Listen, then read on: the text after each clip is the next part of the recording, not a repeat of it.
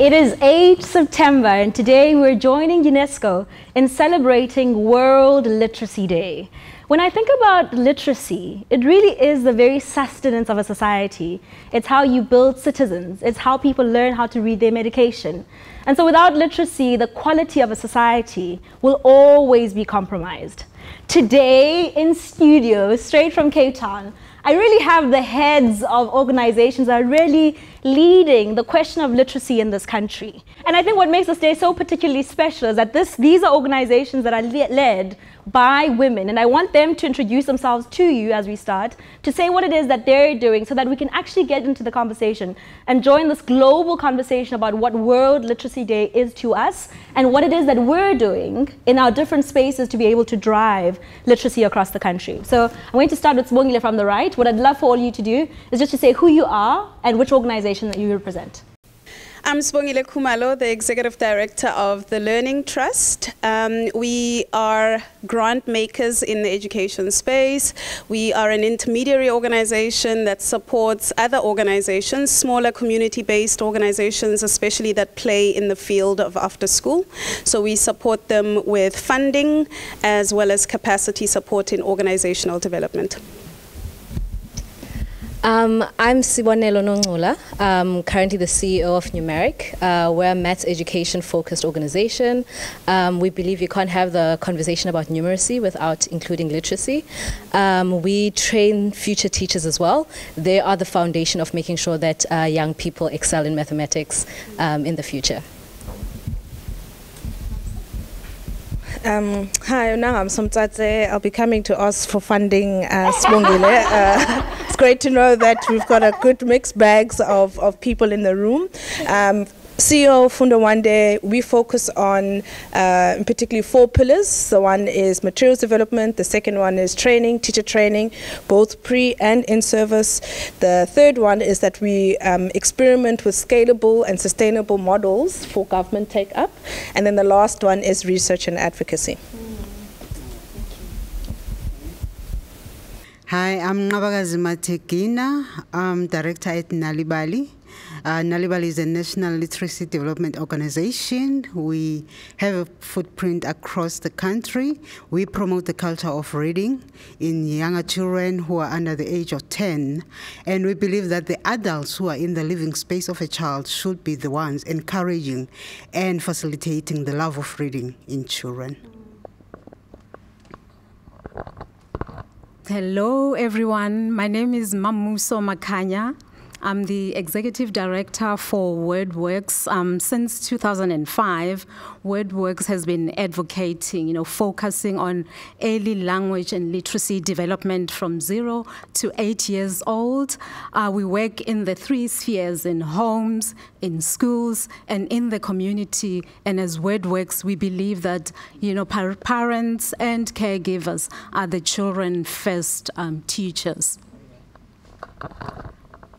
Hi everyone, I'm Lunga Nqadolo, the managing director of the Bookery. And the Bookery creates uh, libraries in, in, schools, primarily primary schools, because we believe that we need to provide access to literacy material for learners at a young age to improve their um, reading capa capabilities. But also, we believe that a library should not be a white elephant. So we employ youths from the community to work as library assistants within these libraries, providing training for them to be able to facilitate classes and literacy activities that promote the love of reading in children.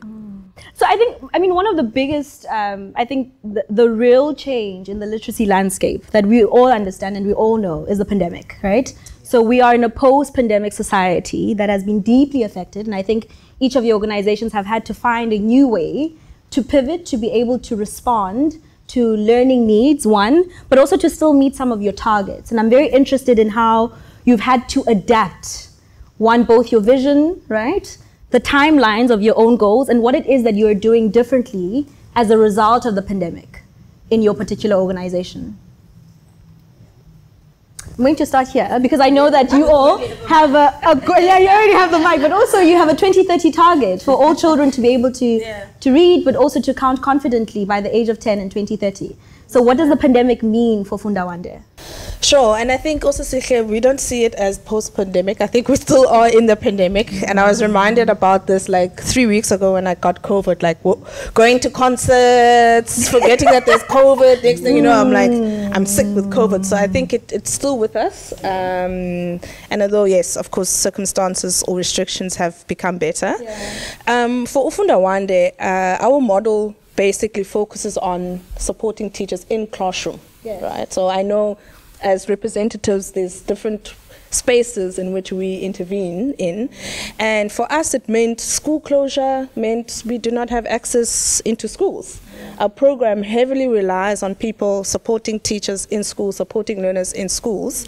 Um, and as a result, um, in, in 2020, we experimented because we also acknowledged that we're not ed tech uh, specialists, nor are we at home or community specialists, but we tried to um, provide teacher training through virtual pl- platforms. We developed um, at home workbooks, um, you know, for learners to take home and complete easily instructions with their parents. And I think, again, uh, the biggest lesson for us is that Funda Wande, probably your playing ground is in the classroom.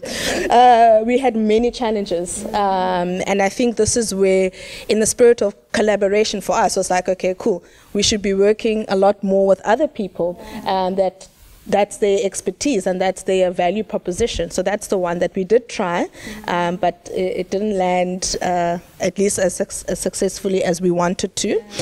And I think one of the biggest findings that we've seen is that a, a light touch intervention or Funda Wande intervention, which comprises of materials and a coaching, works in terms of impact, um, uh, has been the most successful in pre-COVID. And now with learning losses and all of that stuff, we've now have quite a high touch. It's from teacher guides, workbook resources, TAs, coaches, and, and so forth. And we saw in Limpopo that having that, like, like I said, high touch uh, for a post well, post-pandemic period um, has at least yielded to more uh, or better learning gains. So it's like balancing knowing where your strengths are lies as an organization, which is in the classroom and not outside, and that in this context we've have to we've had to put in quite a lot to be able to see or shift learning learning gains, and particularly where we know that there's learning losses.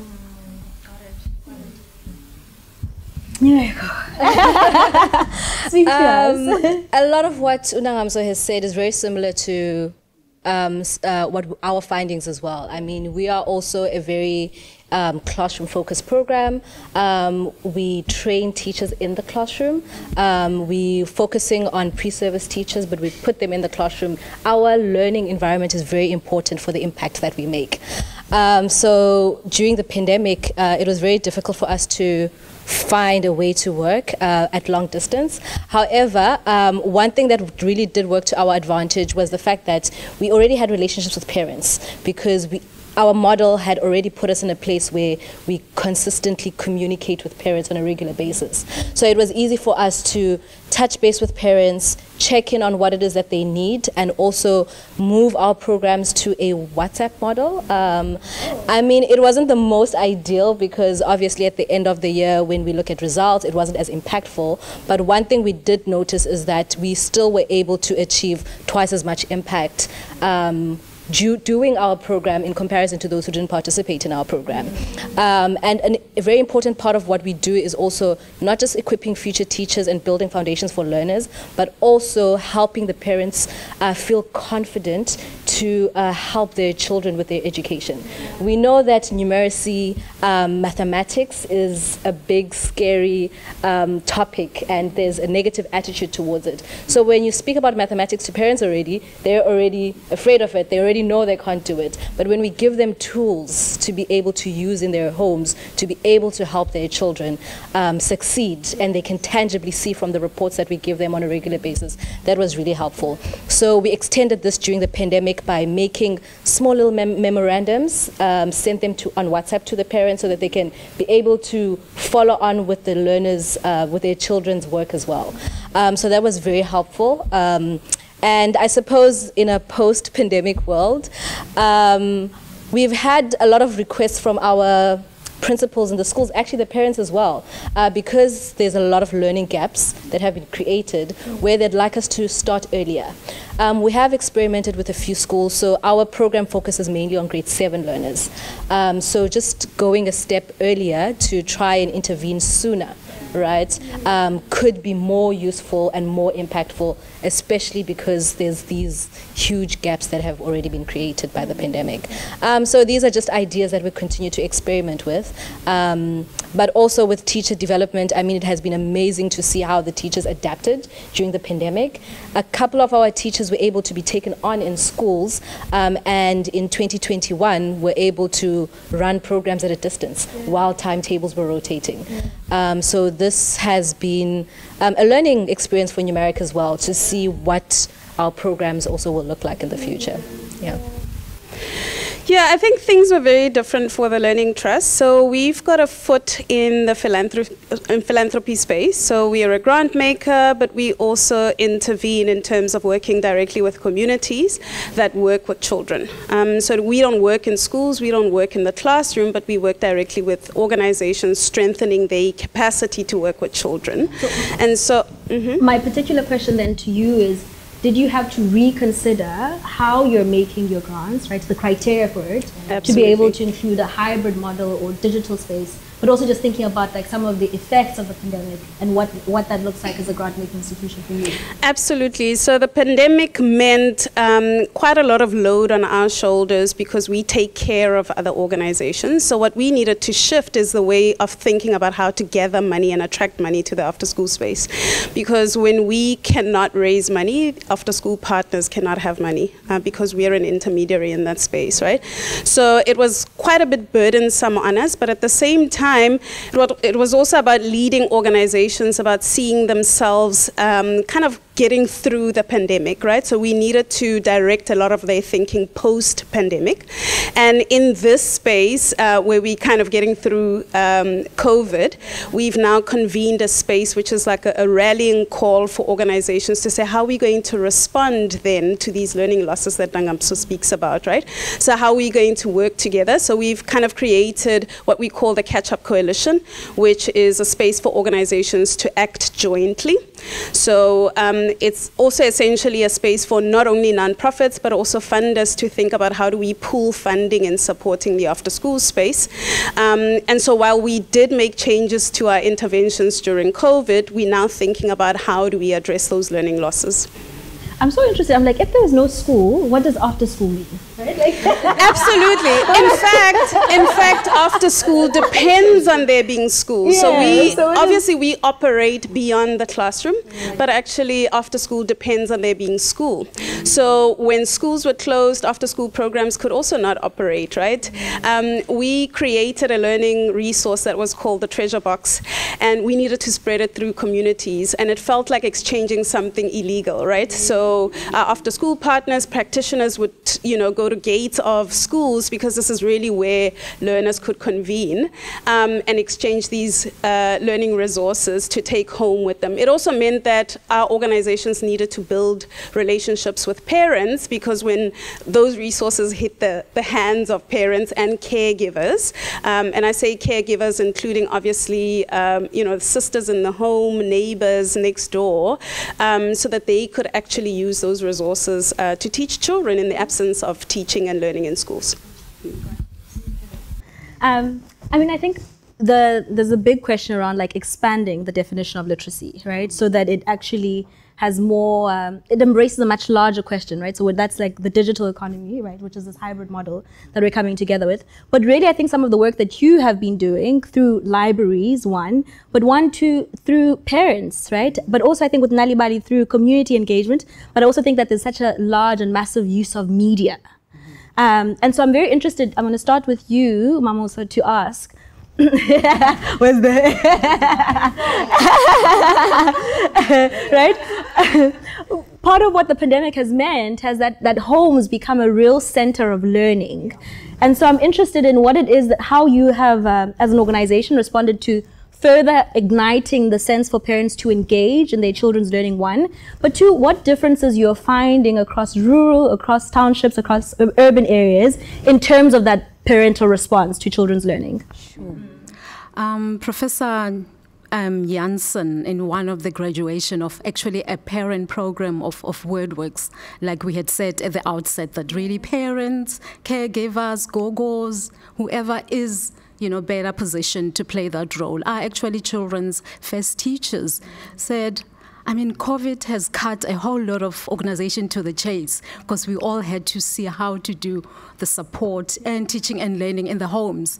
And he's like, WordWorks has been doing this since time immemorial. So it's really important because that's what we believe. So when um, COVID hit, for us, it was like, wow, it, you know, you know, light at the end of the tunnel saying, here is let, let's not let um, maybe a good calamity go to waste. Mm. we actually use crisis. use crisis and see how to dial up the work that we've advocating and saying it's really important. So what we started doing is the work that we've been doing over the years, we just had to sort of package it to ensure that parents and caregivers are supported to be able to do that at home. So our program sort of simplified and um, developed not in an in-depth way as we used to do when working in schools. So we're able to sort of package it and say any caregiver or parent should be able to be empowered to use the materials and our story-based programs in their own homes, in community,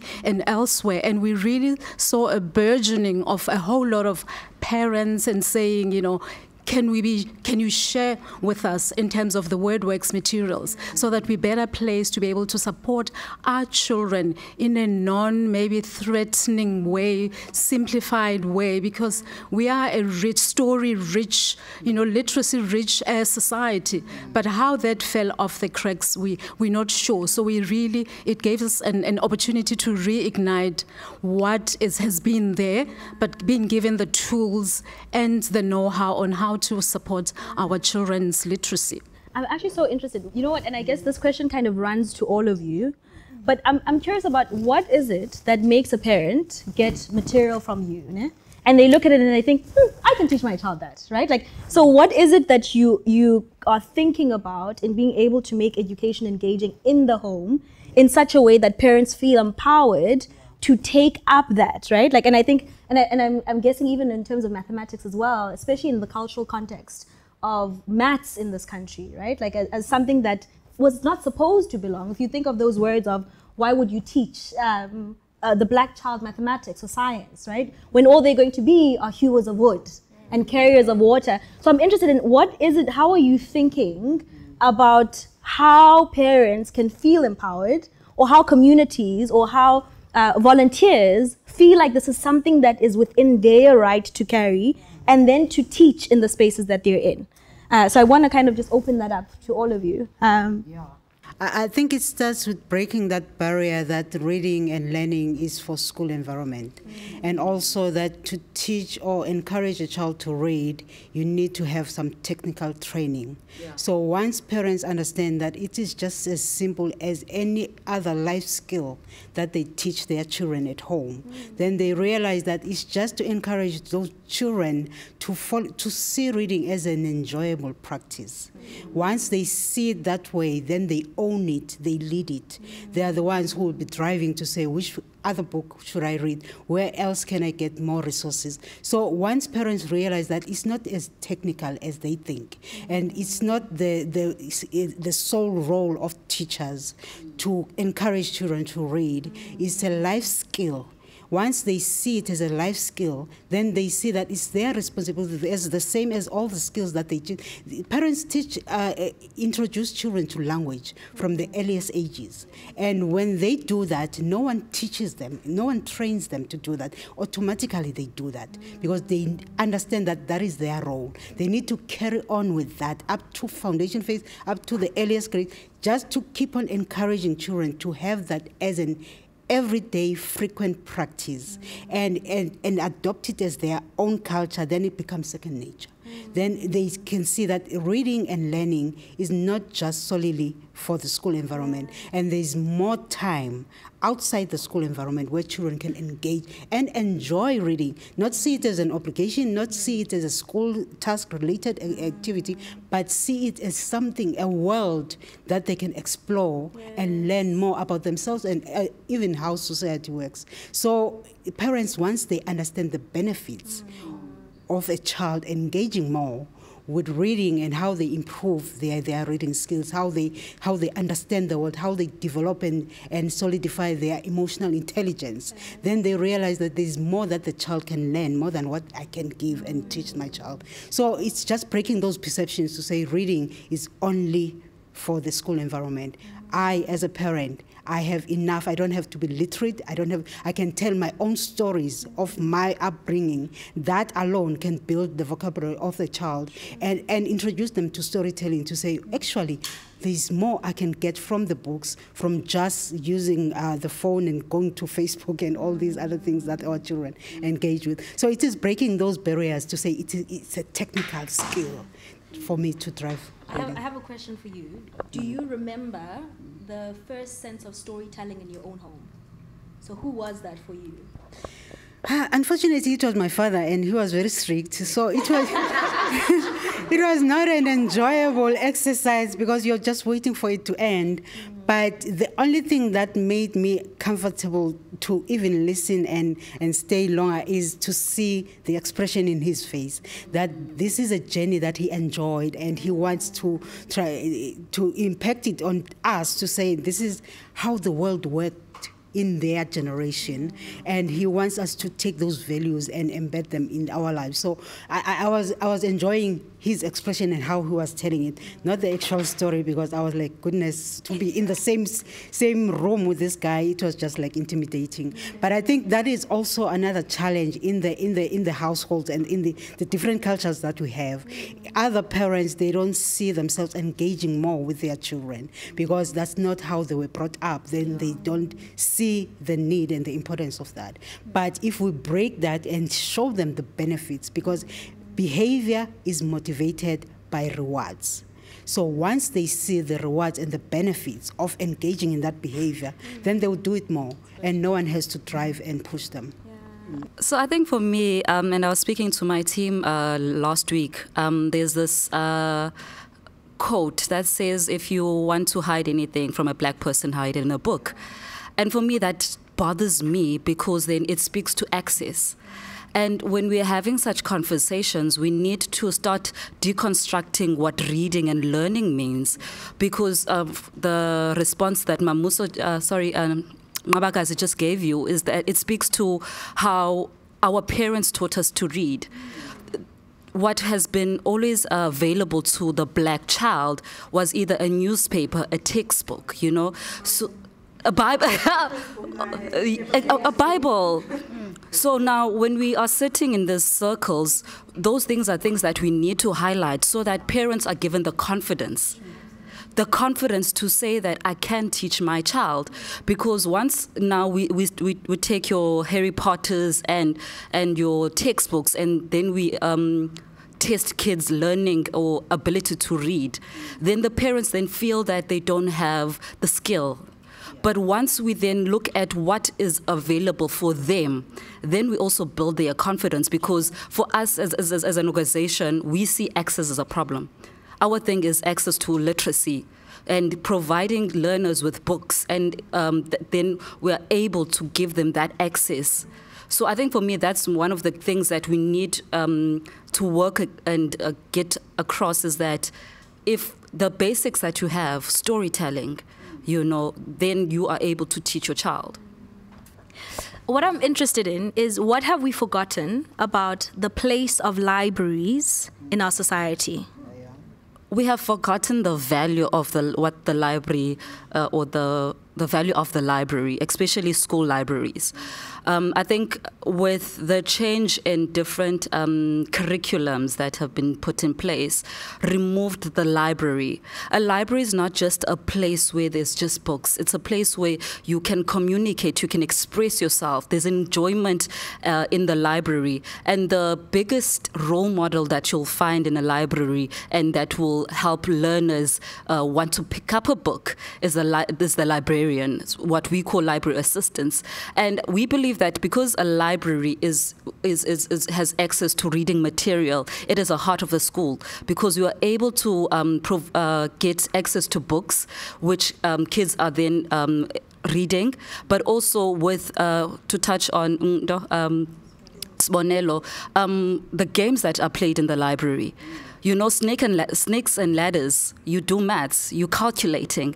It's not just about books, but it's a, a resource that helps what is happening in the classroom, in the library, but in a fun uh, uh, environment, in a fun space.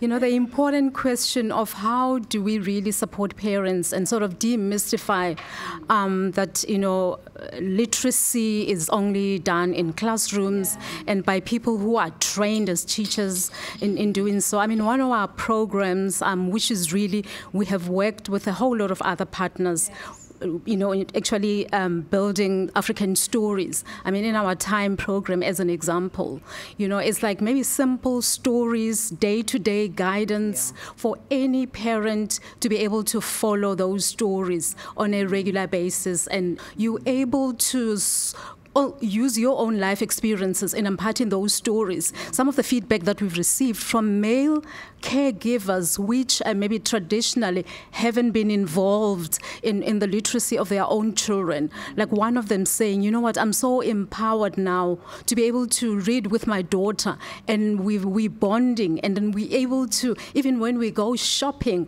we use, you know, maybe their shop as a learning space when we're doing grocery shopping, you know, when we're playing games outside. So you really demystify and really maybe extend the learning experience beyond traditional ones. Yeah.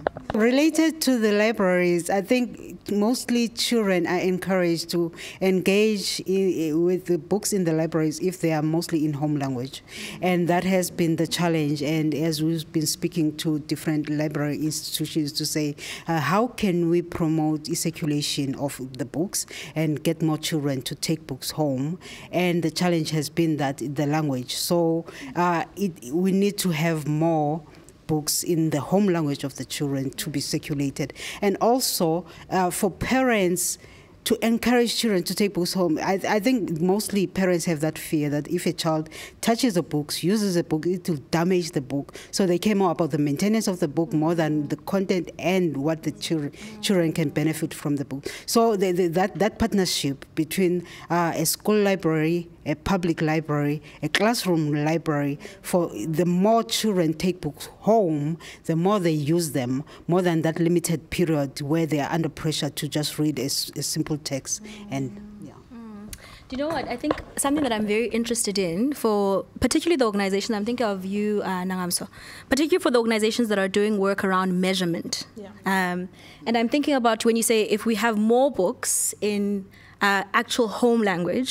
Part of what I've found really interesting as a children's writer myself is the translation of the work sometimes is so different, right, from home language. Yeah. So sometimes when I read them, I'm like, I doesn't right? Like, or when I, and so I'm interested in, in, terms of how you, as an organization, as Nalibali, that does incredible amounts of translation of work, one, how it is you're thinking about the translations being relevant, right, in terms of how they feel as a story, but also for an organization like you, um, Nangamso, how then you're thinking about measurement questions given the fact that there's such difficulties with translation, right? So, so I'm thinking about if I'm seeing a word for the first time and I'm being measured in terms of how well can I read, right? Mm-hmm. The, the likelihood is that I'm going to fail that measurement. So, what is how how are you thinking about translation and measurement in relation to the actual stories, mm. feeling like stories that kids want to be measured with, right? Like where they can be like, yeah, yeah, yeah, you know, like versus and then we're still testing that. So how, yeah. how are we thinking about those measurement um, inefficiencies? Sure. Um, I'll, I'll take the mic now. I'll take the stick.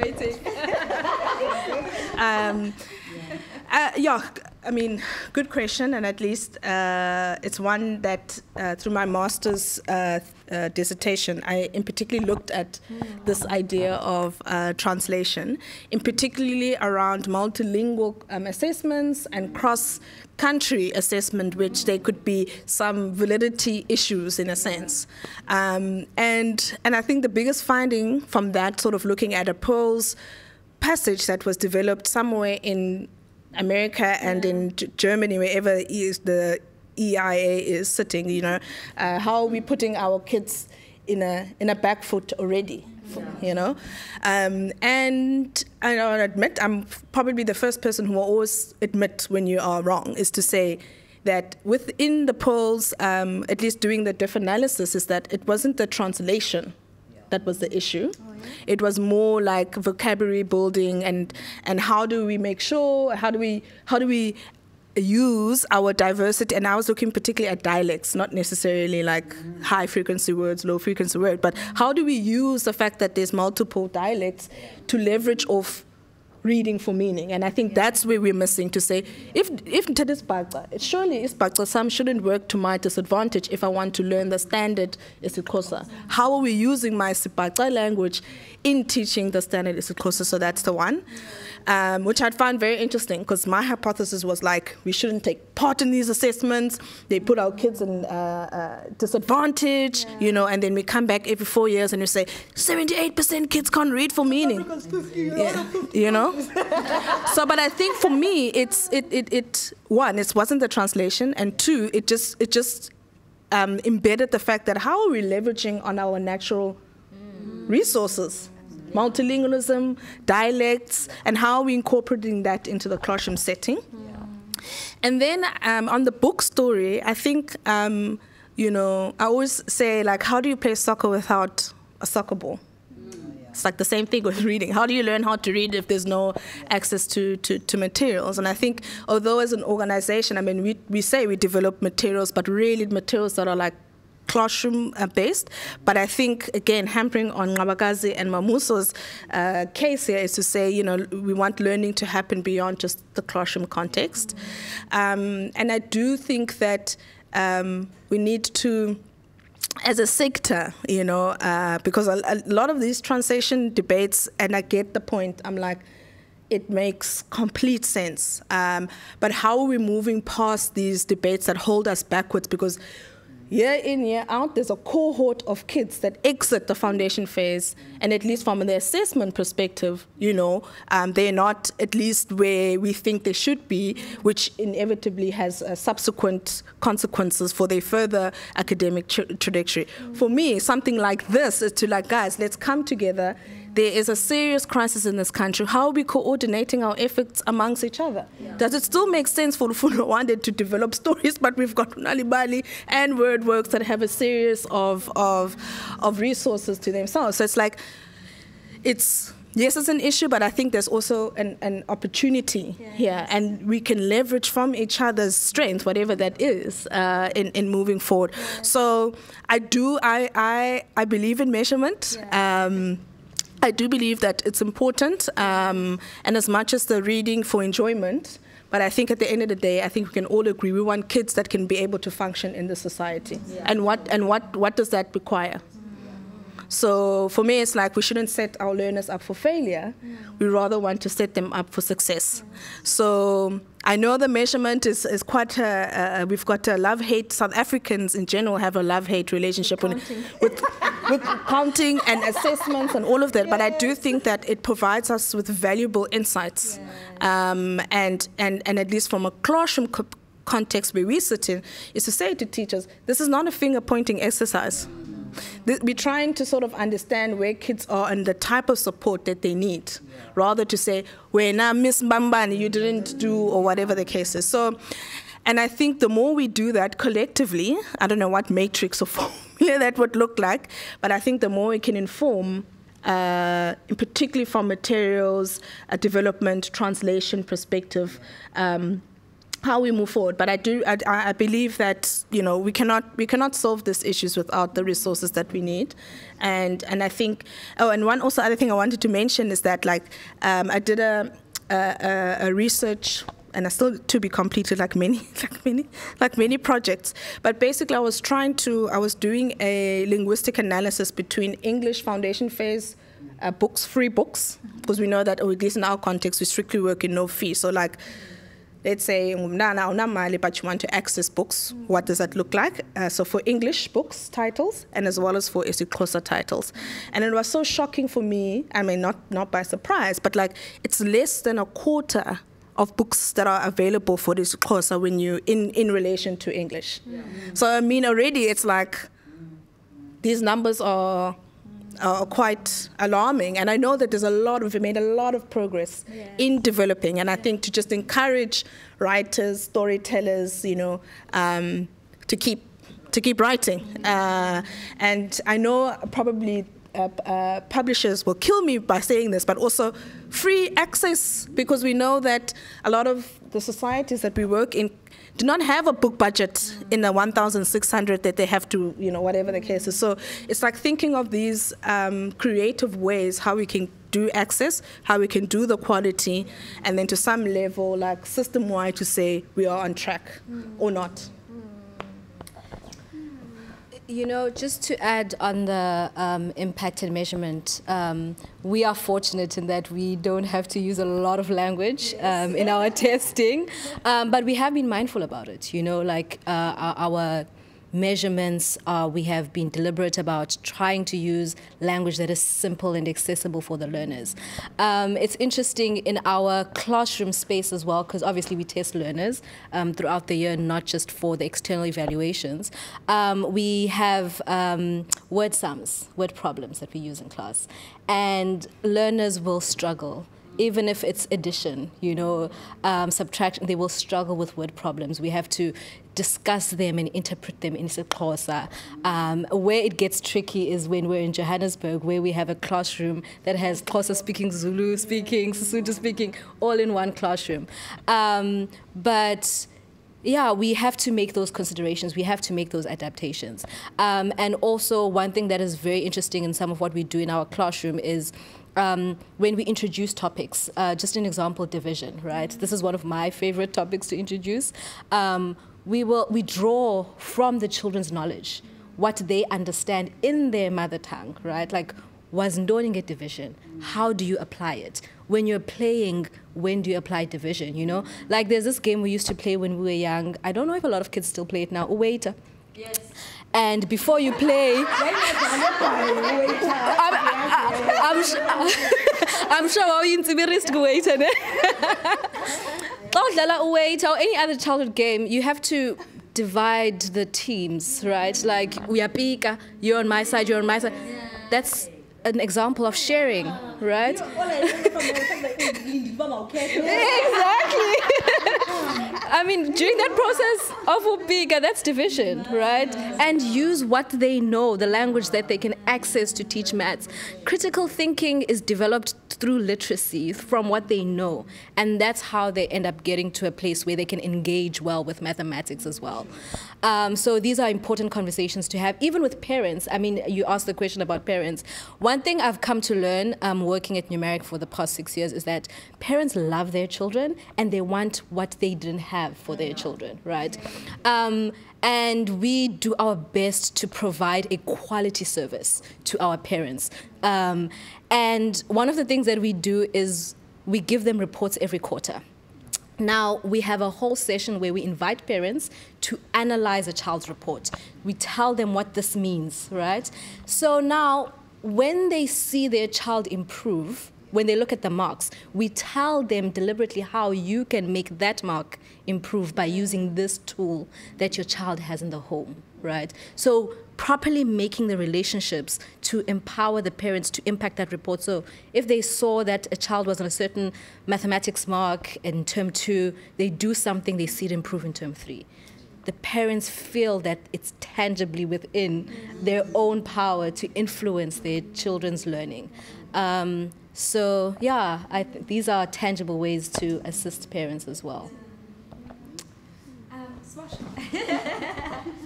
you know what I, what I would love for people to get a sense of, with some of the organizations that you're doing work with, what are some of the good stories, right, as a grant-making mm. institution that you look at and you're like, man, this is important work, right? Like, if you could just kind of like lift some of those so that our audience can have a sense of uh, what is happening in the after school space, uh, but what are some of the stories that show the heart of the work?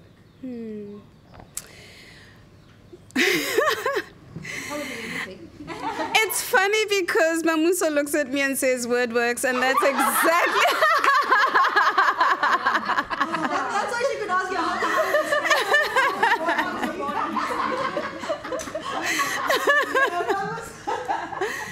And it's precisely one of the really great examples. I think a good example of after school really working is the collaborations that we've seen. So we've supported organizations from when they were maybe even two years in existence. Um, so examples of WordWorks, like Ikamva Youth, are such organizations that we supported from scratch, from the start. And these are organizations that are now 18, 20 years old that have done amazing things. But what's really incredible is when they've come back to collaborate with us in spreading their working models. So in the case of WordWorks, um, we started what we call the Community Collaboration Pro- Project with WordWorks and Ikamva Youth, ac- actually. Um, and our role in the partnership was actually bringing the funding, but the role of WordWorks was providing the materials, providing the training in spreading their model. Um, and it particularly trained parents uh, to do paired reading with children with one of WordWorks' models, the Re- Ready, Steady, Read, Write model, which really proved, um, firstly, that learning or teaching didn't have to be done by teachers, um, but also that we could empower the parents to do something for their own children, but for other children in communities. So, what we did is we gave grants to smaller community based organizations that underwent the training with WordWorks, and those parents of children in those schools and in those communities were able to do paired reading with children in the classroom while the teacher's teaching the rest of the kids. So these are incredible stories of how we've been able to collaborate with other organizations um, and obviously also being able to strengthen the smaller organizations and taking up something like that, um, like a good practice working model that actually works. So you do co-parenting very well. That's what I'm hearing. very well. That's a good one. You know what? Before I actually get into more specific questions, I'm thinking about our particular context as a country. And something that I've thought about quite a bit is uh, the place of culture in learning.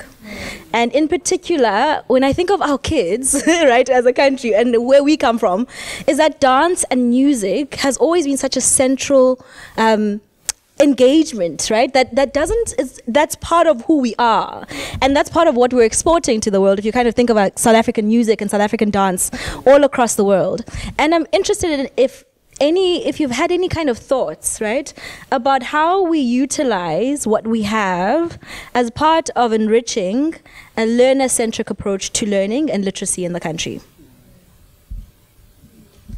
I'll start quickly. I mean, ours is relatively short. So, um, and I think you're right, Sihle. I think there's one thing about us as, um, in particularly black Africans, like we sing and dance when we're happy, when we're mad, when we, when we're grieving. Like it's it's so it's a song. Everything, uh, you know, sort of like relates to a song, which is I think it's it's what makes us quite unique as Africans.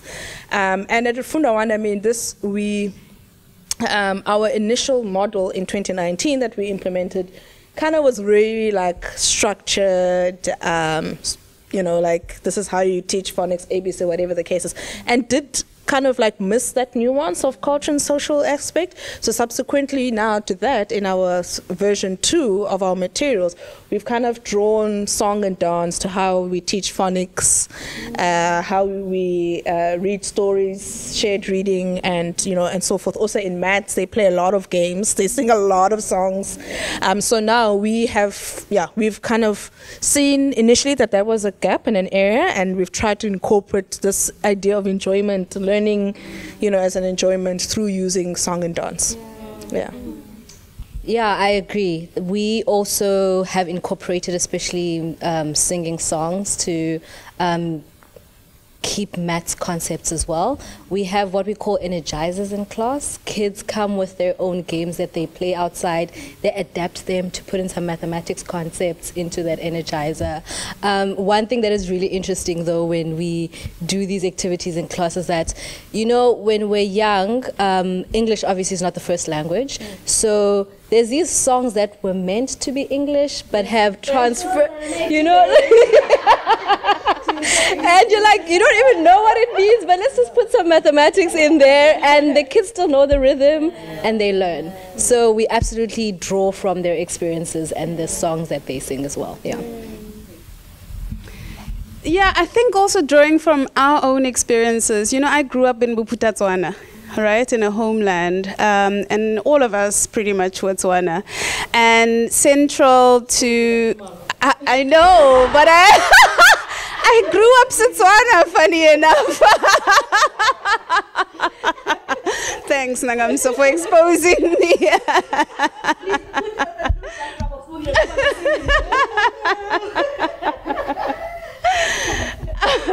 but I mean, our national anthem was in Setswana. Um, we had cultural spaces like the Mmabana Center in uh, where we did Setswana traditional dance. And so, like three times a year, we would travel on a bus to you know, Mafikeng to go dance in, you know, Setswana dance uh, all together. So I think art and culture were very central to how we grew up, right? So not only drawing from these kids' experiences, but also from, from our own um, as teachers, as also caregivers in the home and outside of the home, teaching, learning from our own experiences, I think is, is critical. I was. democratizing. Can I? It's interesting. One of the programs that we're working with the, you know, the GDE Gauteng Department of Education, working with um, official subject advisors. I mean, integrating grade R into their work. You know how these teachers break into a song. It doesn't matter what WordWorks as facilitators or as trainers is doing. You see them breaking into song and improvising. And I mean, some of us, it's, it's like I'm not African. I don't know. I miss when God was dishing out um, skills for people to dance. I didn't quite get uh, my quota. Absolutely. They break into song and improvise and see how to really appropriate it. And it's beautiful to behold how we can improvise. Yeah. yeah. Yeah, I think singing is central to the work that we do because enjoyment, exactly, oh, yeah. reading, we are creating positive reading spaces and experiences, and that involves singing. But if you want to develop language in a child, uh, you need to do it in more repetition. And with singing, you repeat more words, and words go to the long term memory. That way, children can remember things. So it, it's it's not just for enjoyment, but it it, it serves different purposes. And even uh, even the adults who are in the space of the child, they use singing to bring uh, the child's attention because it's difficult to to to to to secure that or to grab that because children are are so impulsive, they are moving all the time. And also, singing introduces movement. And according to research, uh, physical development and literacy development, they are mostly inter interdependent and interlinked. So, when you do your storytelling, whether it's reading time or story, stories, oral language, when you introduce singing and children start to act out the characters and the scenes in the story, then they, those are those. Uh, what are these? Uh, positive reading experiences that encourages children and build that appetite for children to even do more stories. So with singing, it serves so many purposes. I, I want to actually pin that, this question back to you because what we know about libraries is silence, right? library. right? Like, and, and, so I'm, I'm interested, what, one, in I guess maybe like the, the fundamental of libraries being the space of silence, mm-hmm. but two, how do we then begin to connect libraries to communities, right? Because that's the base point of where books are housed, and that's yeah. what people are looking for access to. So, w- what do we do with libraries? What is the future of libraries in ways that connect communities so that they feel like it's a space that they belong in? I think uh, with us creating, let's firstly school libraries, we always um, work with the school management to find out the culture of the school. And um, in creating the spaces, we always say, what do you want? What's the need of the school? What's the culture of the school? And then secondly, we also bring in murals. We make it a fun space for kids to gravitate to because now if it's a space that's not inviting, that's not colorful, that doesn't speak to the child, then it's not going to be a space that they run to. But also another fundamental thing for us is the people that work in our libraries. Because if I remember from childhood, it was always um, the library assistant who encourages us. So finding those people that are first passionate about kids, but also about reading, so that they're able to um, be role models for the learners to just go to, to speak to, and to just advise on the type of books that they are reading. So working with the infrastructure and sourcing the right material for learners. But also, I think over time and with more information about how kids learn and how kids read. We now implementing um, play learning. You know, kids also learn through play. And that needs to be a focus because now you can't be telling uh, grade R learners to keep quiet all the time because then they're not going to be uh, cultivating that that love and the enjoyment because now it's about being strict. So the more you uh, bring in the um, the games, the more you bring in singing, the more they gravitate towards the book. Because I think um, in South Africa, because we were not um, taught or uh, the love of reading and the love of books has not been something that was pushed through within our communities. We need to encourage that. So it's a, if it's a fun space for the learners, then they will always um, want to be there. They want to take the book. They, they want to see what's inside, and then you then encourage from there. So uh, to answer your second question, I think um, a partnership, partnerships between schools and public libraries, between organizations like ourselves, to promote the life of reading, to to, to, to get the word out, to advocate that, you know, a library is not a, lib- a space where it's quiet. I understand maybe within universities, you know, that has to be what um, the, the, culture of that. But if we are not teaching our kids how to access books, how are they going to be able to survive university? Because in university it's strict, it's pedantic. It's about okay, this is where you find this books. You need to know um, the decimal uh, system to be able to know which material you're sourcing. But within a library, if you're making uh, or a school library, if you're making that fun, they get to know okay, Dewey Decimal. This is how you find um, nonfiction. This is how you find fiction. So that when they get to university, they're able to source it. They have that uh, fundamental understanding of a library. Mm so I mean, one of the really great projects that I got to work with Nalibali on was World Read Aloud Day, um, and in 2020, when I was uh, the ambassador for World Read Aloud Day, we we're able to reach three million children in one day uh, in terms of the story downloads. And I think what Nalibali has been able to do incredibly well is media reach. Um, but I think what I found so incredible was realizing how many people are connected throughout provinces, right? Like so, the grandmothers that were calling in to say, "I'm always waiting for the story time," um, and and I think that's something that's so powerful that you actually have like a lever over. Yeah. And so I'm interested one in how um, in how the organization thinks about intergenerational storytelling, yes. right? Uh, because I think that's such a powerful part of what our communities and cultures are made of. Yeah. That so many people who don't necessarily have their mothers in the house, but they have their grandmothers in the house. And so how do we one intergenerational storytelling one, but also how we expand our understanding of literacy, the definition of literacy, in those communities where it's happening, uh, even with people that can't necessarily read or write. Yes. I think that that is key. Uh, to recognize people, even those that cannot read or write. Uh, and also, I think even from the African culture, we believe that the more people are older, especially our our grannies, mm. they, there's a lot of wisdom there that needs to be transferred to the younger ones. So from there, even this storytelling, the culture of telling stories to the young ones, it's, it's been there for years and it's been uh, evolving over the time, but it's, it's been embedded in each and every family. And we know that the family unit has changed. The format is no longer two parents and a child. It takes all different forms. And knowing that there's been, with HIV pandemic, we've had more than 4 million children who do not even have parents who are staying in child and, child and youth uh, child and youth care centers.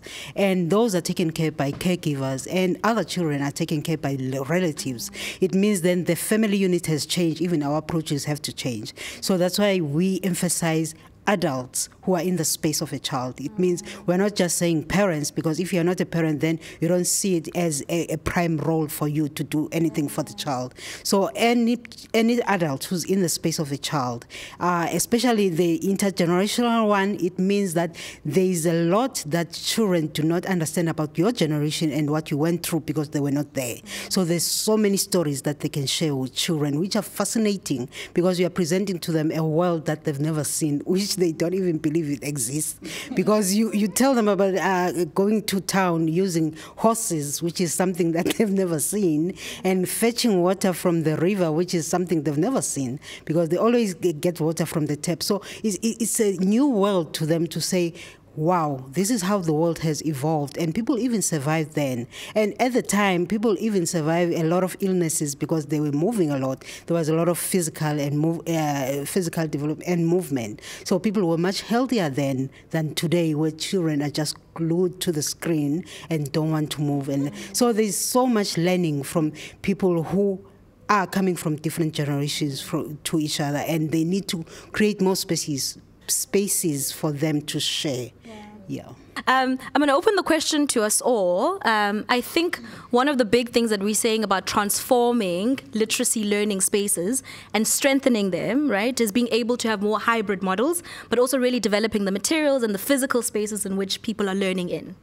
Um, I think something that is really interesting is the more digitalized we become, there's also, I think, like the consistent um, question around distractedness. Um, and I'm really interested to think about or to ask the question of how do we build stronger, more transformed learning spaces that are digitalized in the midst of like um, almost like a high attention disorder in the world, right? Um, where people have to almost like form their own identities. They're growing in the space, but at the same time that there's so much that's competing for their attention in this new learning space. So almost to say, what are the new potential challenges that are coming with a hybrid model of learning, mm. and what are the ways in which we can almost like think forward to ensure that they're strong for the building of a sustainable society of young people who can actually focus. Okay, seeing that I've got the mic, I'll give it a stab. Um, so I'm of the viewpoint, uh, and probably uh, our president and all these people that are pushing robotics, um, I'm like, the basics is to be able to read.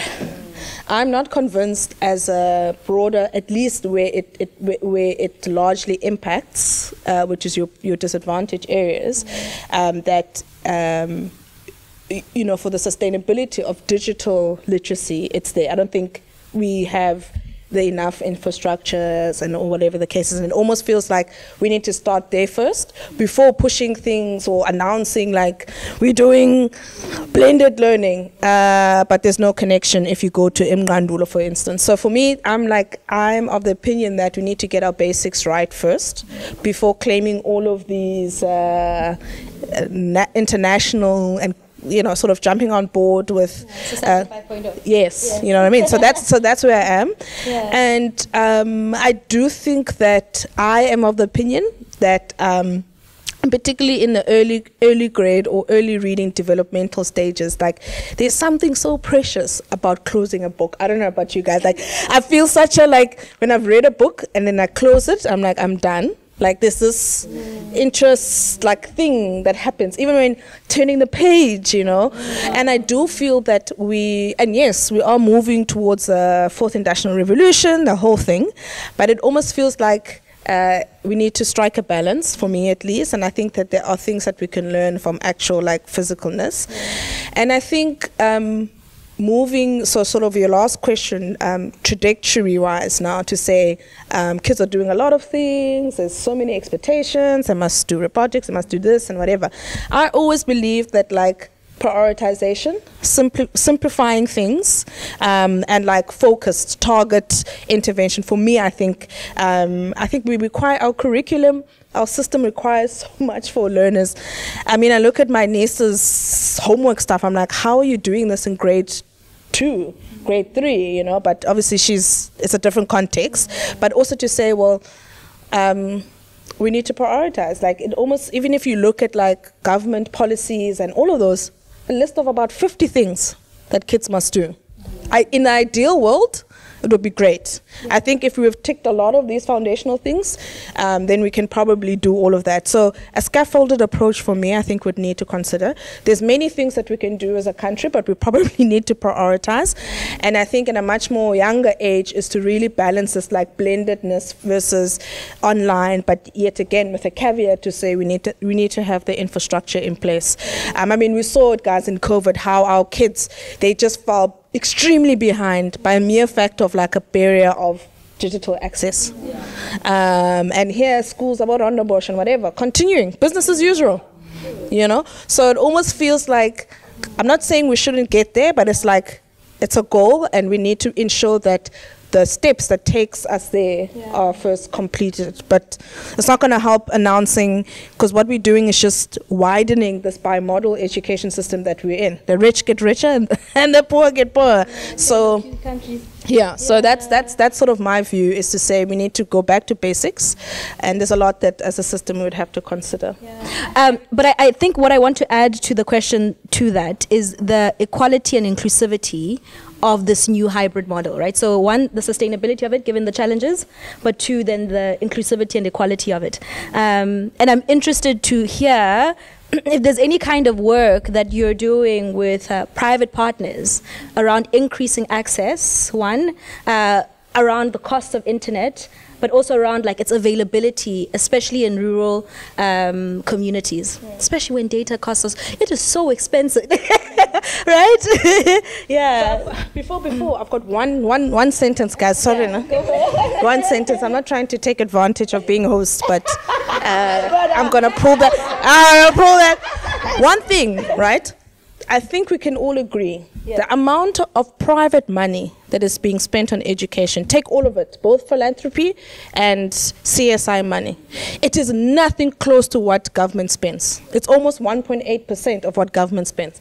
My viewpoint is you won't transform the society using private money. Yeah. I think I think we probably should be getting more and more on the same page is government should be held accountable one they should actually do their job and do it relatively well because they're the ones that are sitting with the largest budget and influence and power and all the things that come with being in government um, to be able to, to, to make so, so, so just on your last point yeah. to say Guti, I think we can leverage of private money but I think for us at least and for me as a Funda Ufunda, Ufunda Wande Nangam says to say where you need to be shifting things is at a policy level.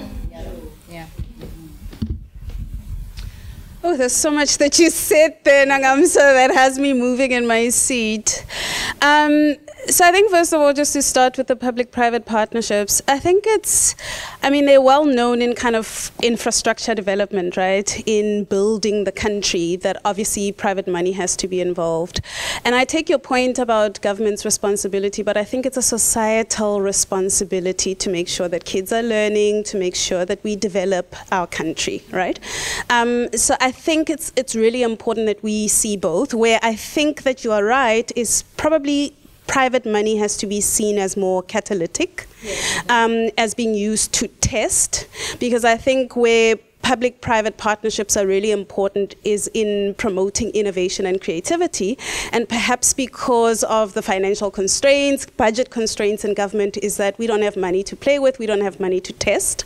And that's where CSI money, philanthropic money needs to be used, right? So it's not that significant, but I think if you're talking 10 billion by CSI, that's significant enough that it can test, that it can help us be creative, innovative, so that government can take it up for systemic intervention, right? Yeah. So I think both are, are valid. Um, yeah, I mean, I 100% agree with. Uh, to count? count the random When is um, yeah, 100%. So that would be like, ah. It's a really when is World Numeracy Day that we can actually like Yeah. think about? Yeah, no, definitely. Um, I 100% agree with what Unangamso was saying. Um, and just to give a brief history about Numeric, um, we started being on a digital platform, right? We were doing Khan Academy classes in townships, right? So most of us here are focused solely on low income areas. And we know that infrastructure um, to be able to deliver good quality, um, high impact programs using um, technology is very difficult, right? Um, so we started using Khan Academy, using school computer labs. There was connection problems, the computer labs were getting stolen. There was always a problem. Kids obviously focus was one of the challenges as well. And we slowly moved away from that, and that's where we were able to get higher impact. Um, and during COVID, that is when um, obviously we had to be creative again because we know what we've learned before, right? And accessing the parents directly was what assisted in us getting some impact um, with uh, um, during the COVID uh, pandemic. Um, moving forward, I 100% agree with what Ngamso said. Has, there's a lot of infrastructure um, challenges that we have that we need to address first before we get into the conversation of um, actually uh, making sure that we have higher impact with learners while doing uh, distance. But at the same time, as an organization that also trains future teachers, whether you give a teacher a chalk, screen, a pen, if they're an excellent teacher, they're an excellent teacher. That's it, right? A screen is a tool right? You still need to train the teacher. Um, one of the tools that we use, we focus uh, on training teachers through Khan Academy, where they develop their own foundations and they watch the videos on how to introduce these concepts. And they still have to plan and make them more relatable. Like what I was talking about division. I go and watch Khan Academy, I think about examples that will relate to my children in class and go teach. Um, yeah, thanks. Hi. Bayathetha osisi.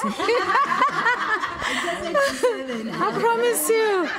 We cooking, we cooking. Um, just uh, some thoughts on the lessons WordWorks learned in terms of this online work in rural areas in the Eastern Cape. I mean, obviously during COVID, we couldn't do that face-to-face in-person training. So we piloted through one of our funders an online ECD practitioner literacy training.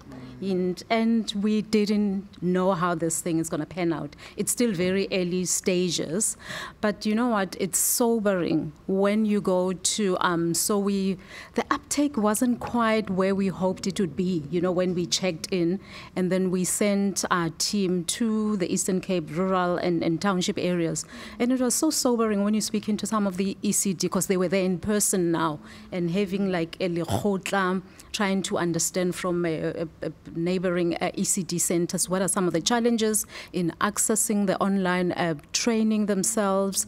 I mean, some of them couldn't even download on the phone. You know how assumptions could be made somewhere in the Western Cape headquarters of this organization that maybe this is how it will it will pan out. So when our team were they were actually helping the teachers, the practitioners to download on the phone just this um, you know, this um, training. So they're like, oh, yenzwa kanje. Oh, you know, you can't just, you know, assume. And we identified some of the um, those that were better able to do that, to sort of share, you know, that peer learning among themselves. And really, the big issue of connectivity some of them weren't able to sort of connect and access the the training because you know it's either data challenges or regional access you know and really it calls for the big players in, in information technology you know for us to really work together and say you know how could these things be zero rated you know? What other infrastructure development can can happen? So it's really sobering and you definitely require that you know support in-person support. You can't just think this thing Mm, yeah. by itself will, will happen. And that means the very same underserved communities and you know disenfranchised communities and then the divide grows. Like Nangamso was saying that you know it, the, the gulf is becoming bigger and bigger. So what are the simple things that we can really support? So you need a, a support person to be able to guide the team, even go to the regions and maybe spend a few days with them and see how is it happening without, in fact, afterwards we even engaged the funder to say, have you, you know, the on the ground challenges are such. You know, we promise that we'll be able to reach this target of ECD practitioners um, accessing and utilizing the, the training and then they're able to go. And then actually they, the funder themselves went there and really saw challenges that you know you want to merge whatever we're doing with a dose, a huge one of reality and realism, and say in reality these are the challenges, but how do we solve those just at a fundamental level? Got you. Marama WhatsApp status and morning prayers what is ah! Morning prayers of excellent out of all those groups. I was like, I cannot wake up to almost 57 messages to WhatsApp. So that's also the very interesting, you know, other side of it. Yeah. yeah. Data constraints, infrastructure, cons- but WhatsApp yeah. status. Nama morning prayers. oh my goodness every day. Yeah. Yeah. Oh, so funny. I think for me, um, we had to just uh, look at what a digital library looked like yeah. for us. Mm. And I think one, as with everyone, the sobering uh, reality was who's, who are our beneficiaries, and our beneficiaries are the learners mm. before we start anyway. And because primarily we work with primary schools, mm. they don't have phones. Mm. They don't have phones, and then they don't have data, and the phones that they have access to are for the parents. Mm. And then I think uh, then we had to then bring back and say, how do we then work with the schools? Mm. But also the challenges that we would be facing is the same challenges that the schools would be facing if we were to provide an online library for a school and then we uh, bring all these um, books that were freely available, mm. then how do the schools uh, then um, disseminate all this material? Yeah. So I think at the end of the day, what we decided was just to um, collaborate and to share material that the, was already out there uh, besides now as a bookery going out and creating our own online library because then we're not going to reach our target. So we had to say, okay, Nalibali has uh, free online material. Let's see if we can disseminate that. Mm. But I think uh, what we also then came up with was um, because uh, schools were closed for a long time, let's do Kasi libraries. What is that? It is having a, a, library outside of the school, whether we, uh, we were at the uh, outside the school gate or working with um, community centers mm-hmm. to say on this specific day we're giving out libraries. Um, the, learners or the children within these communities don't have to bring them back. So in that way, we were just increasing the number of books that are in the homes, and that was just a bookery initiative to say this is what it looks like. But I think for us, like everyone else. Digital, it's not. I think it, it's important, but currently it's not a, it's a not priority. Yeah. Do you know what I? something that we find completely hilarious. I don't know if you've seen this video on social media. Um, it's men bahlele plant, ne? Uh, and one man stands there at um, a man and his daughter walking into the forest. Do you have you guys seen it? and all these men, they all stand up and they kind of like move away, right? Like, and and I keep thinking about it almost as the the idea of um, of of sometimes like how books are like really in our communities where it's like well right? Like so just kind of thinking about this like when you're saying now kasi libraries right? Like I guess part of that is like thinking about innovative ways of making the library a place that it's not like well is what in Lendo you know like it's like but it's actually a part of the community itself. But uh, that was just a, a quick uh, uh, quick ad break uh, I'm interested what are some of the most innovative ways or like openings in your own the own vistas of your own mind where you're beginning to say you know if we maybe thought about literacy in this way there's something else we could be able to tap into. What what is that for you? Like what's coming alive? Ooh, uh, goodness, it, it's quite a lot. But I, I, was thinking as well. They a lot of people they download a lot of apps in their phones so that they can have easy access and understanding of things. And also, there's been a lot of parents apps that have been de- developed to help parents to understand, especially health and nutrition and all those, to to give tips and everything. And literacy has been lagging behind, and and it's not in those platforms.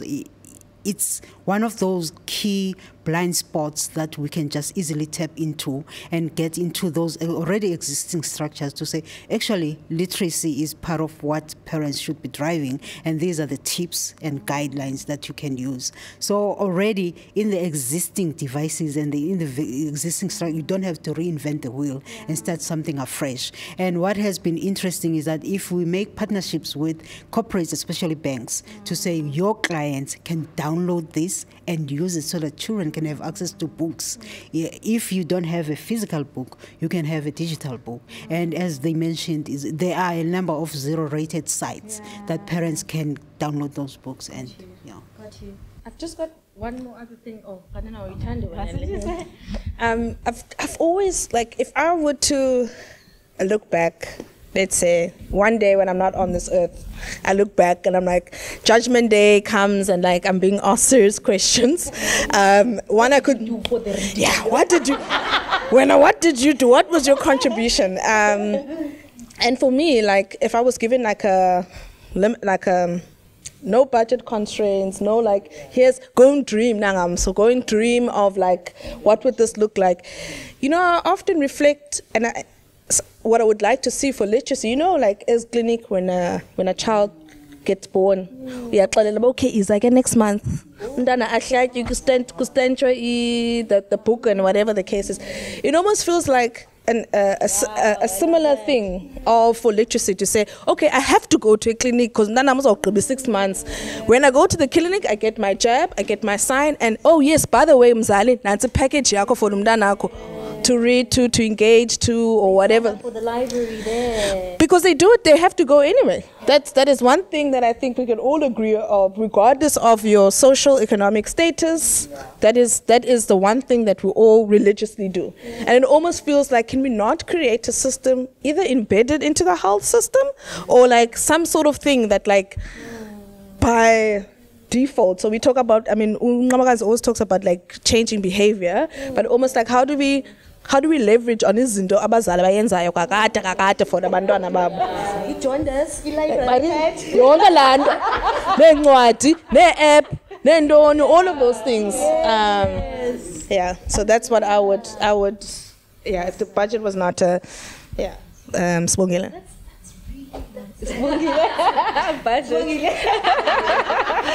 sorry, sorry. You're the only funder or intermediate, so I will constantly pick on you. Yes, and, and, and, and I think maybe not for today, but yes. the funding, the funding conversation is one I think we need to seriously have as civil society organizations. I think. What, what are the low hanging fruits for us to maximize in developing and enriching literacy learning spaces in this country? And in Africa and beyond, actually. Yeah. Yeah, you know what? Um, I think learning and schooling are like separate sides of the same coin, right? And I think we have to firstly accept that learning happens outside of schooling as well, right? And that enriches schooling. So I think the low hanging fruit is in creating learning spaces outside of the school obviously. Secondly, just to the tech question, I think when we think tech, we always think high tech. We think um, tablets with certain software. But I think we, we less often think low tech, like phone calls, like you spoke about WhatsApp. Um, during the pandemic and all of that. So I think both of those things have to be done. We have to start somewhere. Um, and I think also, thirdly, there was a time in this country and in the world where we didn't think that people would have cell phones as they do today. So, you know, with cell phone penetration at the levels that it is now, I think it can only get better and better and increase, right? So I do think we have to put tools in the hands of children. They already have some cell phones. I hear what you're saying about uh, primary school and the lack of cell phones, but I think it's about access to a cell phone in the home, in the community, right? Um, but I do think that we have to push public, I mean, private companies to provide these things. I think your RAINs, your MTNs, your Vodacoms have to make it possible for every school to not only have a library, but have computers in the library, to have tablets in that library. All of us, all of our organizations need tablet banks. We have access, we need access to tools that kids can use to learn, right? So I think these things have to be done. We can't sit back and say, oh, not enough people have cell phones, uh, there isn't enough data, not all spaces have Wi-Fi. Uh, we have to push government to do it, but also push private companies to provide it.